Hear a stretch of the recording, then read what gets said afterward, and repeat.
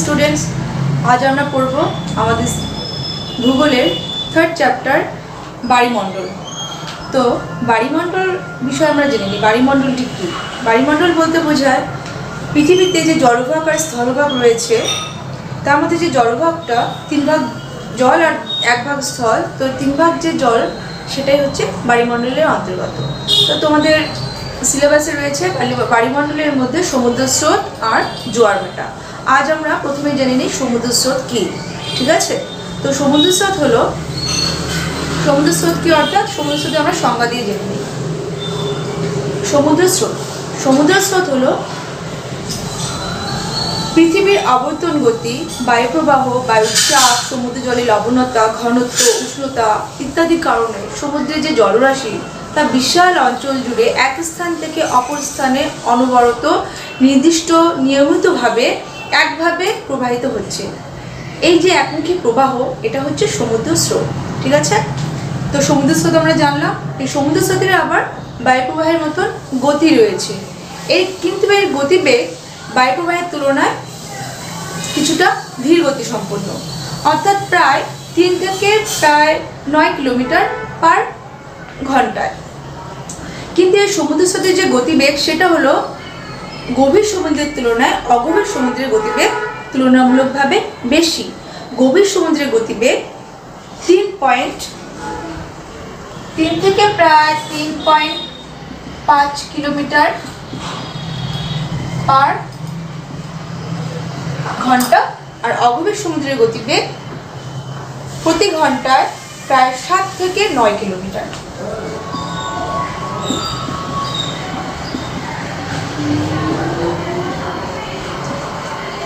আমরা জানলাম সমুদ্র স্রোতের সংজ্ঞা। গতিবেগও জেনে নিলাম, সমুদ্র স্রোতের আবার শ্রেণির ভাগ আছে। সমুদ্র স্রোতের ভাগ রয়েছে। সমুদ্র স্রোতকে দুভাগে ভাগ করা হয়, এর উষ্ণতা অনুযায়ী। প্রধানত উষ্ণতা অনুযায়ী ভাগ করা হয়। কি? সমুদ্র স্রোতের শ্রেণীভাগ করলে আমরা দেখতে পাই এর দুটি ভাগ, অর্থাৎ উষ্ণ সমুদ্র স্রোত আর শীতল সমুদ্র স্রোত। ঠিক আছে? উষ্ণ সমুদ্র স্রোত।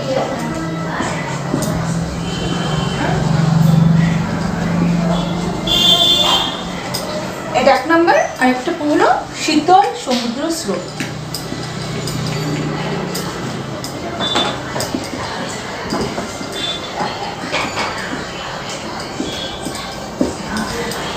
তো উষ্ণ সমুদ্র স্রোত আর শীতল সমুদ্র স্রোত, কেন এদের নাম হলো?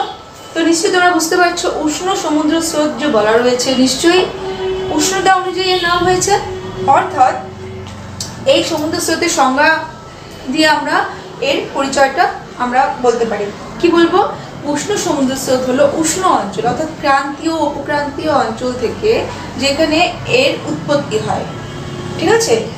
এর উৎপত্তি হচ্ছে উষ্ণ অঞ্চল থেকে এবং উষ্ণ অঞ্চল থেকে উৎপত্তি লাভ করে সে যায় শীতল অঞ্চলের দিকে। উষ্ণ সমুদ্র স্রোত বহিঃপৃষ্ঠরূপে শীতল অঞ্চলের দিকে প্রবাহিত হয় আর শীতল সমুদ্র স্রোত সেটা হচ্ছে মেরু অঞ্চল, উপমেরু অঞ্চল থেকে উৎপত্তি লাভ করে সেটা যায়, অর্থাৎ প্রবাহিত হয় উষ্ণ সমুদ্র স্রোতের দিকে কীভাবে প্রবাহিত হয়? এটা অন্তঃস্রোত রূপে প্রবাহিত হয়। তো এটা গেল আমাদের সমুদ্র স্রোতের শ্রেণি বিভাগ। ঠিক আছে? আচ্ছা আমরা জানলাম সমুদ্র স্রোতের শ্রেণি বিভাগ। তো এখন আমরা জানব সমুদ্র তরঙ্গ কাকে বলে? সমুদ্র তরঙ্গ কি? সমুদ্র তরঙ্গ আগে জেনে নিই। এটা হলো সমুদ্র স্রোত যেমন সমুদ্রের জলরাশি এক স্থান থেকে অন্য স্থানে প্রবাহিত হচ্ছে অনুভূমিকভাবে, কিন্তু সমুদ্র তরঙ্গ, এটা কি? এটা হচ্ছে সমুদ্র পৃষ্ঠের সমুদ্র জলের উপরিভাগে জলরাশি যেটা, সেটা বায়ুর প্রবাহের জন্য অনবরত ওপর ও নিচে ওঠানামা করে। অর্থাৎ এক্ষেত্রে উলম্ব আলোড়ন ঘটে।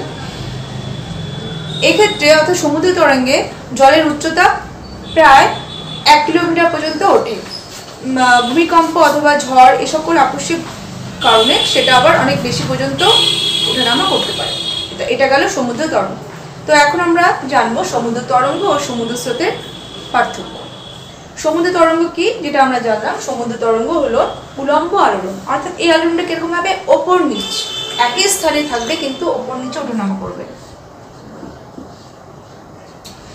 সমুদ্র স্রোত, এটার আলোড়ন হবে, অর্থাৎ এটার প্রবাহ যেটা হবে, সেটা হবে অনুভূমিক আলোড়ন। অনুভূমিক কথাটির মানে এক স্থান থেকে অন্য স্থানে অর্থাৎ এটি হচ্ছে অনুভূমিক, এটি হলো উলম্ব আলোড়ন। সেকেন্ড পয়েন্ট এই সমুদ্র তরঙ্গের ক্ষেত্রে বায়ু শক্তি হলো প্রধান, ঠিক আছে? আর সমুদ্র স্রোতের ক্ষেত্রে বায়ু, কোরিওলিস বল, জলের লবণতা, উষ্ণতা ইত্যাদি তারতম্য, এগুলি হলো প্রধান। সমুদ্র তরঙ্গের তিন নম্বর পয়েন্টে সমুদ্রের তরঙ্গের ক্ষেত্রে সমুদ্রের উপরিভাগে জলরাশি অর্থাৎ পৃষ্ঠদেশে এই আলোড়নটি ঘটে। কিন্তু এক্ষেত্রে সমুদ্র স্রোত যেটা, সেটা পৃষ্ঠদেশ এবং গভীর সমুদ্র উভয় ক্ষেত্রেই এই প্রবাহ ঘটবে। চার নম্বর পয়েন্ট সমুদ্র তরঙ্গের ফলে, অর্থাৎ সমুদ্র তরঙ্গের ফলে ক্ষয়কার্য এবং সঞ্চয় কার্য হয়, এর দ্বারা ভূমিরূপের পরিবর্তন ঘটে সমুদ্র উপকূলে। কিন্তু সমুদ্র স্রোতের ক্ষেত্রে কি হচ্ছে? উপকূলের জলবায়ুর পরিবর্তন ঘটছে। তো এটা গেল আমাদের সমুদ্র স্রোত এবং সমুদ্র তরঙ্গের পার্থক্য। ঠিক আছে? এরপর আমরা জানব সমুদ্র স্রোত সৃষ্টির কারণ ঠিক আছে? এখন জানব সমুদ্র স্রোত সৃষ্টির কারণসমূহ। এই যে সমুদ্র স্রোত, এতক্ষণ আমরা সংজ্ঞা জানলাম, সমুদ্র তরঙ্গ জানলাম, এদের শ্রেণীবিভাগ জানলাম। এই সমুদ্র স্রোত সৃষ্টি হচ্ছে, এই সৃষ্টির পেছনে অনেক কারণ রয়েছে। যেহেতু সংগতি আমরা জেনেই নিয়েছি যে সমুদ্র স্রোত কাকে বলে, এর জন্য রয়েছে আবর্তন গতি বায়ু প্রবাহ বায়ুর চাপ, বায়ুর তাপ, সমুদ্র জলে লবণতা, ঘনত্ব ইত্যাদি। তো এগুলি সমুদ্র স্রোত সৃষ্টির কারণ। তো প্রথমেই আমরা জানব সমুদ্র স্রোত সৃষ্টির কারণের প্রথম পয়েন্ট প্রথম পয়েন্ট হলো পৃথিবীর আবর্তন গতি। এই যে পৃথিবীর আবর্তন গতি, পৃথিবীর আবর্তন গতি আমরা জানি সবাই, পৃথিবী পশ্চিম থেকে পূর্বে অনবরত নিজ কক্ষে, নিজ অক্ষের উপর সূর্যকে সামনে রেখে ঘুরছে। তো এই যে ঘুরছে, এটা হলো আবর্তন গতি। আবর্তন গতি ফলে একটি বলের সৃষ্টি হয়। এই বলটি হলো কোরিওলিস বল। এই কোরিওলিস বলের জন্য পৃথিবী পৃথিবীতে বায়ুপ্রবাহ উত্তর গোলার্ধে ডান দিকে এবং দক্ষিণ গোলার্ধে বাঁ দিকে প্রবাহিত হয়। এটা হলো ফেরুলের আবিষ্কার করা সূত্র। তো এই সূত্র অনুযায়ী এই দিককে অনুসরণ করে সমুদ্র স্রোত ও উত্তর গোলার্ধের ডান দিকে, দক্ষিণ গোলার্ধে বাঁ দিকে প্রবাহিত হয়। ঠিক আছে? তো এটা গেল পৃথিবীর অবতরণ গতি যেটা সমুদ্র স্রোত সৃষ্টির প্রথম কারণ। সেকেন্ড পয়েন্ট সেকেন্ড পয়েন্টে আসব আমরা, বায়ুপ্রবাহ। বায়ুপ্রবাহ বায়ু কীভাবে নিয়ন্ত্রণ করছে? আমরা, তোমরা এর আগের চ্যাপ্টার পড়েছো, বায়ুমণ্ডলে বায়ুর চাপ পড়েছো। তো সেখানে তোমরা দেখেছ, পৃথিবীতে যেটা হলো বায়ুপ্রবাহের মধ্যে নিয়ত বায়ু প্রবাহ ঠিক আছে? তো নিয়ত বায়ু প্রবাহের কটি ভাগ রয়েছে? তিনটি। আয়নবায়ু পশ্চিমা বায়ু মেরুবায়ু আমরা আগেই জেনেছি ফেরুলের সূত্র অনুসারে পৃথিবীতে বায়ু প্রবাহ উত্তর গোলার্ধে ডান দিকে এবং দক্ষিণ গোলার্ধে বাঁ দিকে বেঁকে প্রবাহিত হয়। তো সেই অনুযায়ী আয়নবায়ুর ক্ষেত্রে কি হচ্ছে? আয়নবায়ুর ক্ষেত্রে কি হচ্ছে? এই ছবিটি তোমরা দেখো। এখানে এটা হচ্ছে নিরক্ষীয় অঞ্চল। নিরক্ষীয় অঞ্চলের উভয় পাশে এটা হচ্ছে উত্তর দিক, এটা দক্ষিণ দিক। এখানে উত্তর গোলার্ধে আমরা কি বলেছি? উত্তর গোলার্ধে উত্তর পূর্ব দিক থেকে বায়ু আসবে এবং দক্ষিণ গোলার্ধে দক্ষিণ পূর্ব দিক থেকে বায়ু যাবে। তো উত্তর গোলার্ধে উত্তর পূর্ব রূপে প্রবাহিত হয় দক্ষিণ গোলার্ধে দক্ষিণ পূর্ব রূপে বায়ু প্রবাহিত হয়। ঠিক একইভাবে সমুদ্র স্রোত তাই উত্তর পূর্ব রূপে প্রবাহিত হচ্ছে দক্ষিণ গোলার্ধে দক্ষিণ পূর্ব দিক থেকে প্রবাহিত হচ্ছে। সেম একইভাবে পশ্চিমা বায়ুর ক্ষেত্রে কি হচ্ছে? পশ্চিমা বায়ু নামটির মধ্যে পশ্চিম কথাটি রয়েছে। তো এখানে আমাদের সবসময় খেয়াল রাখতে হবে, পশ্চিম দিক থেকে বায়ু যায়। তো এক্ষেত্রে কি হচ্ছে? পশ্চিম দিক থেকে বায়ু উত্তর গোলার্ধে ডান দিকে যাচ্ছে, অর্থাৎ উত্তর পশ্চিম পশ্চিম বায়ুরূপে এবং দক্ষিণ গোলার্ধে দক্ষিণ পশ্চিম পশ্চিম বায়ুরূপে প্রবাহিত হচ্ছে। ঠিক একইভাবে পশ্চিমা বায়ুকে অনুসরণ করে এই অঞ্চলে সমুদ্র স্রোত প্রবাহিত হচ্ছে। ঠিক একইভাবে আবার মেরুবায়ুর ক্ষেত্রেও উত্তর পূর্ব মেরুবায়ু রূপে প্রবাহিত হয় আর দক্ষিণ পূর্ব মেরুবায়ু রূপে প্রবাহিত হয়। সমুদ্র স্রোত ঠিক তাই। তো এটি গেল আমাদের বায়ু প্রবাহ থার্ড পয়েন্ট সমুদ্র জলের উষ্ণতা। সমুদ্র জলের উষ্ণতায় আমরা দেখব, সমুদ্র কি করছে এই নিরক্ষীয় অঞ্চলে। এই নিরক্ষীয় অঞ্চলে সূর্যরশ্মি সবসময় কীভাবে লম্বভাবে পতিত হয়? তো এই ধরুন কি হচ্ছে এখানে? জল খুব তাড়াতাড়ি এবং খুব বেশি পরিমাণে উষ্ণ হচ্ছে এবং কি হচ্ছে? হালকা হয়ে প্রসারিত হয়ে উপরে উঠে যাচ্ছে।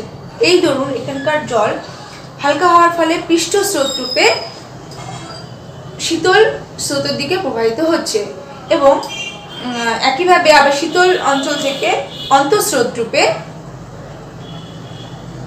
উষ্ণ স্রোতের দিকে প্রবাহিত হয়। এটা গেল সমুদ্র জলের উষ্ণতা। এরপর নেক্সট পয়েন্ট আসবে লবণতা। তো অধিক লবণতাযুক্ত সমুদ্র জলের ঘনত্ব বেশি হবে এবং ঘনত্ব বেশি হলে তার কি হবে? ভারী হবে। তো এই কারণে এটি আবার অন্তঃস্রোত রূপে হালকা স্রোতের দিকে প্রবাহিত হবে। ঠিক আছে? এটা গেল আমাদের সমুদ্র সৃষ্টির কারণ সমূহ মধ্যে এই চারটি পয়েন্ট আমাদের নেক্সট পয়েন্ট হলো বরফের গলন। বরফের গলন অর্থাৎ মেরু অঞ্চলে যে সমুদ্র স্রোত, সেই স্রোতে যদি বরফ গলে যায়, বরফ গলা জল অর্থাৎ মিষ্টি জল। সেই বরফ গলে যাওয়ার ফলে সেখানে অর্থাৎ মিষ্টি জলের মিশ্রণ ঘটবে। মিষ্টি জলের মিশ্রণ ঘটলে সেক্ষেত্রে কী হবে? জলের লবণতার কমে যাবে। লবণতা কমে গেলে ঘনত্ব কমে যাবে। তো ঘনত্ব কমে গেলে সেটা কি হবে? সেটা বহিঃস্রোত রূপে অর্থাৎ হালকা হয়ে যাবে। তো হালকা স্রোত বহিঃস্রোত রূপে আবার অন্তঃস্রোতের দিকে শীতল স্রোতের দিকে চলে আসবে। ঠিক আছে? অর্থাৎ কম ঘনত্বের দিকে চলে আসবে। এটা গেল বরফের গলন নেক্সট উপকূলের আকৃতি। সমুদ্রের স্রোতের গতি নিয়ন্ত্রণ করে সমুদ্র স্রোতকে নিয়ন্ত্রণ করে আবার উপকূলের আকৃতি। সমুদ্র স্রোতের গতিপথে এর প্রবাহ পথে যদি মহাদেশীয় উপকূল ভাগ থাকে বা কোনো দ্বীপসমূহের অবস্থান থাকে, সেক্ষেত্রেও সমুদ্র স্রোতের পার্থক্য ঘটে। অর্থাৎ তার প্রবাহের পার্থক্য ঘটে। ঋতুভেদ। ঋতুভেদ অর্থাৎ, ঋতুভেদে অর্থাৎ গ্রীষ্ম ঋতু বা শীত ঋতু, এই ঋতুর পার্থক্যেও সমুদ্র স্রোতের পার্থক্য ঘটে থাকে। ঠিক আছে? তো এটা আমাদের গেল সমুদ্র স্রোত সৃষ্টির কারণ সমূহ। নেক্সটে আসছি, সেটা হলো জলবায়ুর উপর সমুদ্রস্রোতের প্রভাব। এক্ষেত্রে ফার্স্ট পয়েন্টে আসবে উষ্ণতা নিয়ন্ত্রণ। উষ্ণতা নিয়ন্ত্রণে কি করে উষ্ণতাকে নিয়ন্ত্রণ করে জল- সমুদ্র সেটা হলো উপকূলের সমুদ্র উপকূলের পাশ দিয়ে যদি উষ্ণ সমুদ্র স্রোত প্রবাহিত হয়, সেখানকার বায়ু কিছুটা উষ্ণ হয়। আবার শীতল অঞ্চলের উপকূলের পাশ দিয়ে শীতল সমুদ্র স্রোত প্রবাহিত হলে সেখানকার বায়ু কিছুটা শীতল হয়। যেমন উষ্ণ উপসাগরীয় স্রোতের প্রভাবে আমেরিকার পূর্ব উপকূলে জলবায়ু কিছুটা উষ্ণ হয়, আবার ক্যানারি ল্যাব্রাডর স্রোত ইত্যাদি স্রোতের প্রভাবে, এটা ইত্যাদি হলো শীতল স্রোত, ইত্যাদি স্রোতের প্রভাবে নামিয়া ইত্যাদি উপকূলগুলিতে কিছুটা শীতলতার পরিমাণ বাড়ে। তো এটা গেল উষ্ণতা নিয়ন্ত্রণ, ঠিক আছে? এরপর বৃষ্টিপাত, বন্যা ও খরা নিয়ন্ত্রণ, কি করে নিয়ন্ত্রণ করে? এই যে উষ্ণ সমুদ্র স্রোতের উপর উপর দিয়ে প্রবাহিত বায়ুতে জলীয় বাষ্প শোষণের ক্ষমতাটা বেড়ে যায়, অর্থাৎ জলীয় বাষ্পের পরিমাণটা বেড়ে যায়। সেক্ষেত্রে এই ক্ষেত্রে কি হয়? এক্ষেত্রে বৃষ্টিপাতের সম্ভাবনা বাড়ে। আবার শীতল সমুদ্র স্রোতের উপর দিয়ে প্রবাহিত বায়ুতে জলীয় বাষ্পের ধারণ ক্ষমতা বেড়ে যায়, অর্থাৎ জলীয় বাষ্প সেখানে প্রায় থাকে না, ঠিক আছে? ওটা ড্রাই হয়ে যায়, শুকিয়ে যায়। সেই ক্ষেত্রে সেই জলবায়ুতে কি হচ্ছে? সেই জলবায়ু বৃষ্টিপাতের পরিমাণ কমে যায়, প্রায় অনাবৃষ্টি দেখা যায় ইত্যাদি। এরপর কুয়াশা ঝড়ঝঞ্ঝার সৃষ্টি। এটা কি করে ঘটে? উষ্ণ সমুদ্র স্রোত আর শীতল সমুদ্র স্রোত যদি পরস্পর মিলিত হয়, সেক্ষেত্রে সেক্ষেত্রে কি হচ্ছে? সেই স্থানে প্রচুর ঝড়ঝঞ্ঝা, কুয়াশা দুর্যোগপূর্ণ আবহাওয়া সৃষ্টি হয়। আবার এক্ষেত্রে কি হচ্ছে? একটি গুরুত্বপূর্ণ বিষয়ের একটি আবির্ভাব ঘটে, সেটি কি? সেটি হলো মগ্নচড়া উষ্ণ সমুদ্র স্রোত আর শীতল সমুদ্র স্রোতের মিলিত স্থানে এটি কি করে সৃষ্টি হয়? পাশে দেখো একটি ছবি দেওয়া আছে। এটি কি করে ঘটে? প্রথমে বলিনি এটি কি? হিমশৈল। তোমরা সবাই নিশ্চয়ই হিম, হিমবাহ চ্যাপ্টারে পড়েছ, হিমশৈল। হিমশৈল হলো বিশাল আকৃতি বরফের চাই শীতল সমুদ্র স্রোত হিমশৈল বয়ে আনে। সেই হিমশৈল যখন উষ্ণ সমুদ্র স্রোতের সংস্পর্শে আসে, তখন কি হয়? সেটি গলে যায় এবং গলে যাবার ফলে হিমশৈলের মধ্যে থাকা নুড়ি, বালি, কাকড়, শ্যাওলা যাবতীয় নোংরা জিনিসপত্র, সেগুলো কি হচ্ছে? সেগুলো গলে সেই সমুদ্রের অগভীর বা মহিষপান অঞ্চলে সেটি জমে যায়। ধীরে ধীরে এইভাবে পর্যায়ক্রমে জমতে জমতে ধীরে ধীরে সেখানে একটি চড়া বা যেটি হচ্ছে মগ্ন চড়া সৃষ্টি করে বা ব্যাংক। এটিকে বলা হচ্ছে ব্যাংকের সৃষ্টি করে। এটিকে বলা হচ্ছে গ্র্যান্ড ব্যাংক। এখানে উদাহরণ হিসেবে বলা যায়, শীতল লাব্রাডর স্রোত, এটা হচ্ছে শীতল স্রোত, ঠিক আছে? শীতল লাব্রাডর স্রোত, আর এটা হচ্ছে উষ্ণ উপসাগরীয় স্রোত। দেখো, দুটি দুদিক থেকে আসছে। এই এখানে আসার ফলে কি হচ্ছে?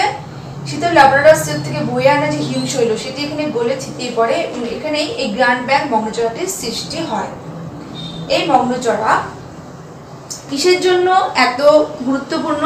এটা হচ্ছে মাছেদের, সামুদ্রিক মাছেদের সব থেকে অনুকূল জায়গা, যা মৎস্য চাষিদের জন্য খুবই লাভজনক, ঠিক আছে? তো এটি আমরা দেখে নিলাম, এটি কোথায় দেখতে পাওয়া যায়? এই গ্র্যান্ডব্যাক মগ্নচড়া যেটি সেটি হচ্ছে নিউফাউন্ডল্যান্ডের পূর্ব উপকূলে আটলান্টিক মহাসাগরে দেখতে পাওয়া যায়। এটি পৃথিবীর বৃহত্তম মগ্নচড়া। এখানে নানা রকম সামুদ্রিক মাছ, ম্যাকারেল কড হ্যাডো ইত্যাদি ইত্যাদির এদের বিচরণ কেন্দ্র এটি এবং মৎস্যজীবীদের এটি শিকার কেন্দ্র। বোঝা গেল? তো এটি গেল গ্র্যান্ড ব্যাংক। গ্র্যান্ড ব্যাংকটি টিকা হিসেবে তোমাদের আসবে, তোমাদের কোশ্চেন হিসাবেও আসবে, নাম আসবে, ঠিক আছে? কোন স্রোতে মিলি- মিলনের ফলে সৃষ্টি হচ্ছে এটাও আসবে। তো তুমি এটা দেখে নিবে। এরপর আসব এরপর আসব যেটা হয়ে গেল তুষারপাত। তুষারপাত কি করে সৃষ্টি হয়? তুষারপাত শীতল সমুদ্র ওপর দিয়ে প্রবাহিত বায়ুতে, আমরা আগে জেনেছি এখানে কি হচ্ছে? শীতলতার পরিমাণ বেড়ে যায়। অর্থাৎ কি? এখানে বায়ুতে জলীয়বাষ্প প্রায় থাকে না বলেই চলে। সেক্ষেত্রে অতিরিক্ত ঠান্ডার কারণে সেক্ষেত্রে অনেক সময় তুষারপাতেরও সৃষ্টি হয়। নেক্সট আসব মরুভূমির উৎপত্তি। মরুভূমির উৎপত্তি কি করে ঘটছে? মরুভূমির উৎপত্তি ঘটছে যখন শীতল সমুদ্র স্রোতের উপর দিয়ে প্রবাহিত বায়ু যখন স্থলভাগের উপরে পৌঁছায়, তখন সেখানে আর জলীয়বাষ্প প্রায় থাকে না বলেই চলে। সে কারণে সেই অঞ্চলগুলিতে এই বায়ুর প্রভাবে এবং এই স্রোতের প্রভাবে মরুভূমির সৃষ্টি হচ্ছে। যেমন, উপক্রান্তীয় অঞ্চলের মহাদেশের পশ্চিম ভাগগুলিতে নানা রকম মরুভূমির সৃষ্টি হয়েছে। বিভিন্ন ধরনের মরুভূমি, যেমন আটাকামার নাম বলতে পারি আমরা, কালাহারি সোনেরা ইত্যাদি।